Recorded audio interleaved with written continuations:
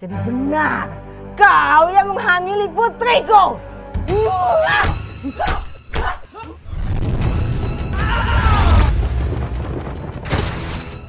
Apa yang terjadi dengan Rindu? Saya harus menolong Rindu.